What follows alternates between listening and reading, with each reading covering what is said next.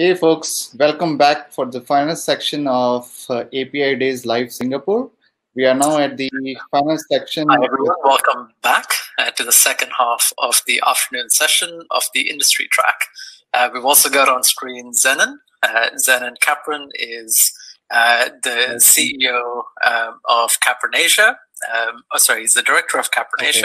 Apologies. So Anastasija, I think uh, some of the sound is coming from different track you might have opened. So thanks for switching it off. Yeah, so I was talking about we are back again for the final section at the final day of API Days Live Singapore. And we have an amazing lineup of speakers, starting with Anastasija Nikitin, business expert API banking at Commerzbank. And she will be talking about digital ecosystems in the era of open banking. We are following this same structure. At the end of our session, we will take any Q&As which you might have. So please feel free to drop any of the questions in the stage ch- chat channel. Over to you, Anastasija. Okay, thank you, Dhiraj. So, welcome everyone to my speech on digital ecosystems in the era of open banking. Uh, so, we all know we live in very exciting times right now. APIs are on the rise, whether it comes to coping with re- regulatory pressures or when it comes to improving internal efficiency with agile teams, or also when it comes to creating and also engaging in new forms of partnerships. So this is what we all know also under open banking and open banking is currently unlocking the financial sector so it makes it easier for customers to access financial financial products and services more directly. But open banking doesn't only unlock the financial sector; it also also unlocks the the access to other industries and allows banks to go beyond banking and therefore to tap into different and new fields of business. And uh, if you have researched the topic of digital ecosystems, you may realize that this is probably still a new one. So there's probably not yet the right uh, strategy to go with and not that right or wrong yet right now. But what I'd like to show you is actually how Commerzbank is addressing the topics of open banking. So what have we achieved, achieved up to far and how are we also addressing the topic of digital ecosystems in order to keep, go beyond banking. And in case you may not be familiar with Commerzbank, I would like to give you a first a quick overview of Commerzbank. So Commerzbank is Germany's second largest bank with roughly 49,000 employees and over 800 branches. And Commerzbank serves more than 11 million clients all over the world, which are private clients, business clients, and also corporate clients. And what is important to highlight about Commerzbank is that the company is currently undergoing a digital transformation. So we're on our way to become a digital technology business in order to serve our customers with digital products and services. And of course, this requires some organizational change and also some cultural change. And what Commerzbank has done, it, it has created um, a delivery organization which comprises all those divisions and units that deliver and produce digital products and services. And this uh, delivery organization also comprises the technology foundations. So the most recent technologies in banking right now. So we have uh, clusters, for example, CI/CD, cloud, blockchain, and also uh, API banking is one of them. And just to show you our setup, so we're set up in an agile way. You may know this also under the Spotify model. So we have different cells in our cluster in API banking, which are domain driven. So those cells deliver APIs on a certain domain, on a certain product domain, let it be accounts, let it be payments, loans, and so on. So as I said, they're domain driven and all those cells are also set up in a similar way when it comes to resources. So we have the div, biz DevOps approach uh, where we have next to product owner and scrum master, we have business experts, we have developers, and we also have test managers and operations in those cells. And as I said, we're part of the delivery organization, which consists of more than 50 clusters. So all of those clusters in the bank work according to this agile method. And this helps, of course, to improve efficiency and make collaboration much more efficient. And to show you how this has helped us to get into so-called delivery mode in API, um, you can first see here that we have started out by late 2016 as a kind of journey. So the first goal for us was to test whether these agile methods work in a bank in a in the size of Commerzbanks. So we first we have made the proof that this works, that we're efficient. And by 2018, we were able to set the basis. So this was the time when all the teams were set up and uh, all the resources were there. And also this was the time when we have published our developer portals. We have an internal one and also we have an external one. And as you can see, ever since we've been able to increase the amount and the number of API operations. So we got into this delivery mode and this has been possible due to all those agile techniques. So we uh, work according to Scrum. We have some SAFe elements in place. Uh, we also have a company-wide backlog, so we track it not only on a cluster and also in our teams, but also across those clusters. And we set our uh, agile KPIs, which are object objectives and key results in that case, so we make our objectives measurable. And this was necessary to cope with the current change on the market right now. So you all know the market is changing, customer interactions and relationships are transforming right now. So everything is becoming more and more customer centric. Uh, also, there's new entrants on the market. Let it be fintechs, neobanks, but also big techs that actually disrupt banking right now. So all those new changes, they urge banks for a change. And this change is one of a technology change, it's technological change, it's an organizational and cultural change, but it also requires a change in mindset. So banks have to make sure that they stay relevant in customers' daily lives, but also in customers' daily business. And in order to achieve that, banks have to actually loosen themselves from the traditional banking approach. approach. So banks should not only provide uh, products and services and then deliver them to customers directly. But it's actually all about analyzing where do customers interact somewhere out there. So what kind of industries, what kind of sales of points do customers have, even if they're beyond banking. So by analyzing those top touch points with the customers, it is actually very important that you open up. So you have those interlinks up to those ecosystems and try to produce, uh, provide your products at the right time at the right place in order to benefit your customer wherever he needs them. So, and when we talk about the path to ecosystems, it's actually a very important approach. So you have to have a clear strategy in mind. And this starts, of course, with a clear API strategy. And we have the API first strategy. So the first thing for us was actually not an external way of thinking, but also an internal one. So First, we have focused on internal efficiency with API. And this is very important because you have to make sure, especially when your company is, is of a big size, let's say the, the size of Commerzbanks, that you have a certain technological readiness in place. So once you have customers coming up with their demands, you have to be able to respond quickly to them and in a more efficient way. And this is only by um, providing that you have a certain internal efficiency and that you're ready to respond quickly. And the second step for us was to open up. So this is when we had to do it actually based uh, on regulatory pressures. But uh, the first thing we did, we also tested it with selected users. So we did some UX tests. We also yeah, just followed the MVP approach to make sure what kind of experience can we gather and what can we do better or uh, yeah, how can we do it different maybe. And now we're actually at the point where we actively engage in open banking but that's not the final stage, of course. We want to go beyond and we want to engage in those ecosystems. So this is how we set our strategy. And if we talk about the internal efficiency, so your actually your internal readiness for ecosystems and open banking, um, we also have to make sure that you have a clear awareness in your company. So the bigger your company, the more complex it is to make to create this awareness of APIs. It's not just showing them that API is just a, a technology, but also you have all those stakeholders and product owners out there in the bank, and you have to make sure that they understand it's it also helps them to create new products and enrich existing products with additional services.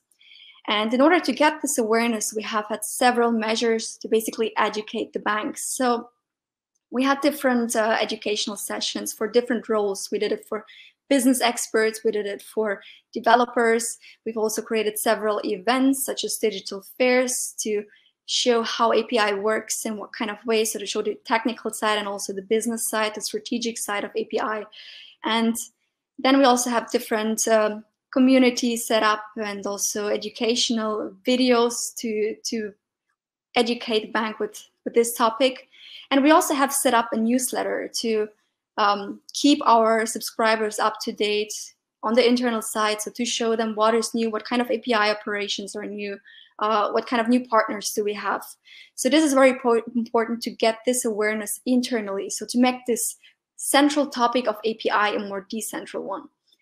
And once you have this awareness, you actually start talking with your internal stakeholders, with the product owners, in order to commit on a certain goal and to create a certain API and a certain product. And this was, of course, not without challenges for us. So um, there's, of course, um, yeah, you have to make sure you have a, a, common understanding of existing opportunity and that you understand what kind of benefits you can achieve with the new API.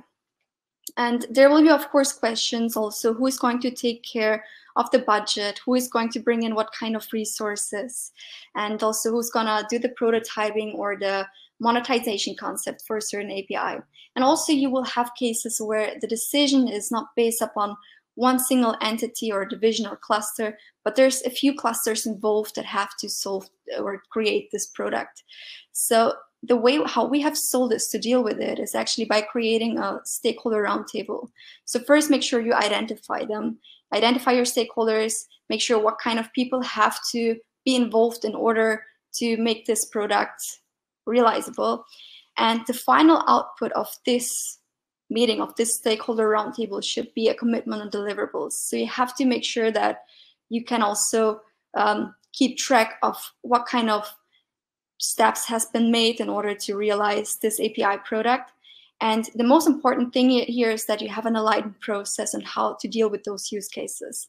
So you have to make sure that you keep track on the progress being made and also leave room for new ideas and new innovative use cases to come. So that's why we do it on a frequent uh, way. So we have it uh, every on every quarterly basis. And when we come to the external side, so when you start opening up, um, we also have clarified for us three different stages. The first was to open up with API. So this is basically having our developer portal in place and uh, placing our APIs on this developer uh, on this developer portal to make them ready to consume products.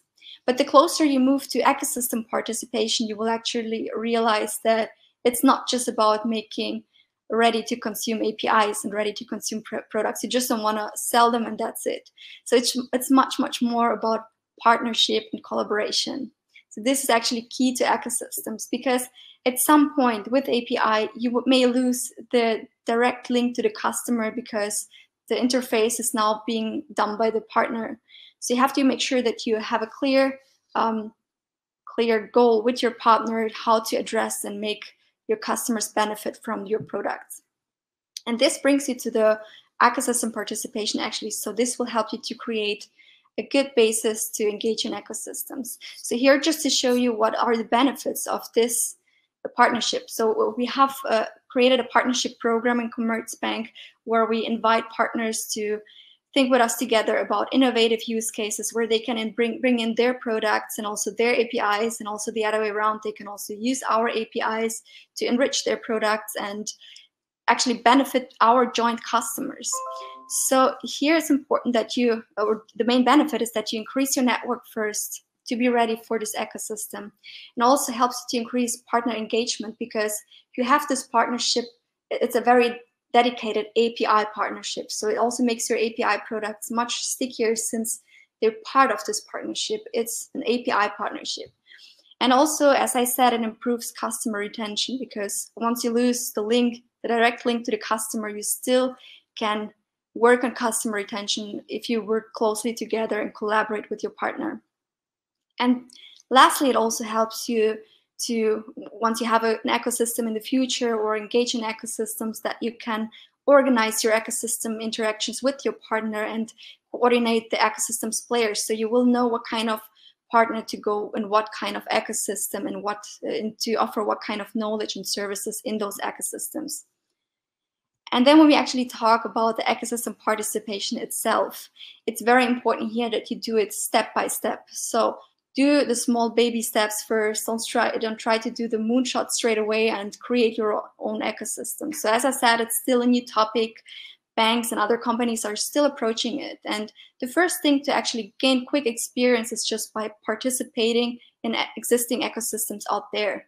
They may, may maybe not even be called ecosystems because uh, this is still a new term, but there's probably already a set of different products and services across different industries that are bundled in one kind of marketplace. So you have to make sure to analyze those kind of marketplaces and engage there with your products and, and integrate yourself there. And the first thing to do is actually by analyzing on a certain core product what might be the right customer journey. So what is the, the customer doing in order to achieve a certain need. So as I said, it's all about a customer-centric approach. And there you will realize what kind of pain points the customer may have on its way to, to be um, serving a certain need. And this is exactly at those pain points you will be able to provide your product at the right time and also at the right uh, place wherever your customer needs them. So by just doing this, uh, by integrating into ecosystems that are already existent, you can get first experience, you can bring in additional revenue much quicker, and also it helps you to learn from the experience and then to identify what area, what ecosystem to tap next in order to extend your participation. And then when you create your own ecosystem and also start building all this up, it's all about the customer-centric approach, as I said. So don't think of your products, don't do the product-centric thing, but also think what kind of customer needs do you actually want to address. And when we think of a loan, so which is one of the main banking products, um, it's not the loan that the customer wants, it's not his basic need, but the customer's basic need in that case is buying a new house or buying a new car or create a new business. So whatever it may be, think it from the customer centric way. So this is where we all start with, put this into the core of your ecosystem. And then, as I said, do the analyze the customer journey around there. So on the left side, you will see all those obligations and tasks a customer has to do when he is um, trying to, to fulfill his own needs. So in order to buy a new house, this is a very common example when describing ecosystems, by the way. So um, the customer has first to do consultation, a location check, search for land and property. And by analyzing this journey, you will realize what kind of services can you address, where can you address your products to serve the customer's need.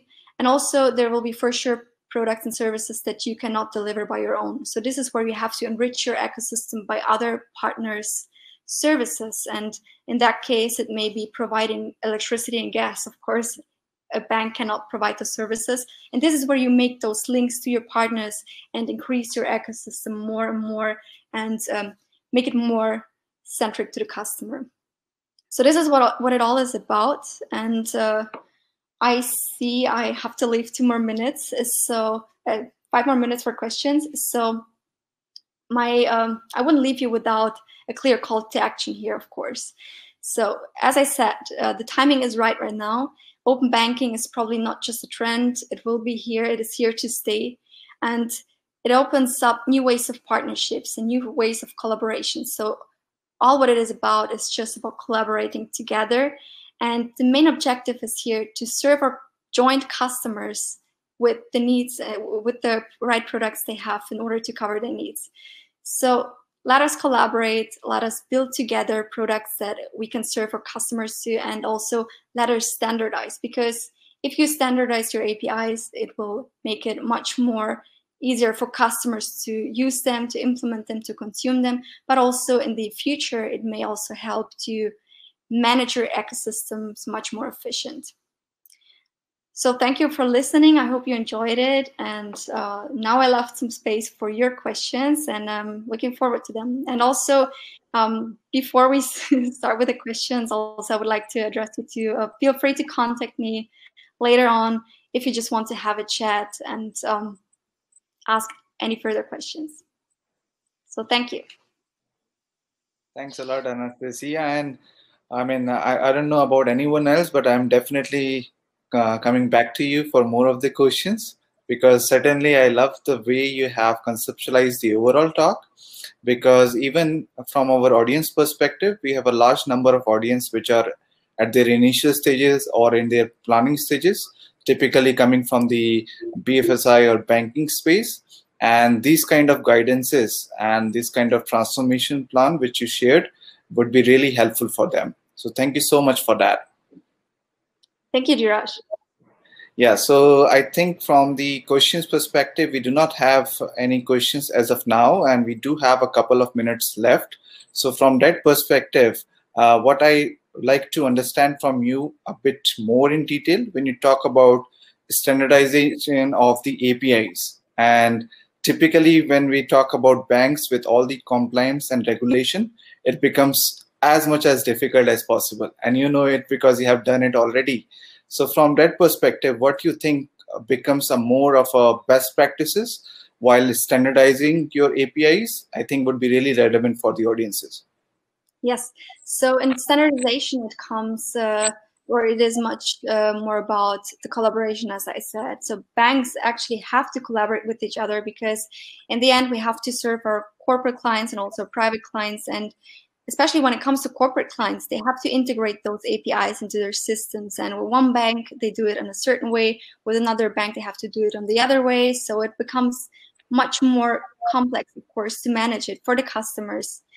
And uh, there's, of course, several initiatives right now in the market where uh, that offer banks to collaborate and also to keep uh, certain standards, such as the Berlin Group, for example. So, so this is very important. It is key that also banks work there together and uh, stick to those uh, standards because yeah as i said it's it benefits the customer but it's also a very important prerequisite to make ecosystems in future manageable.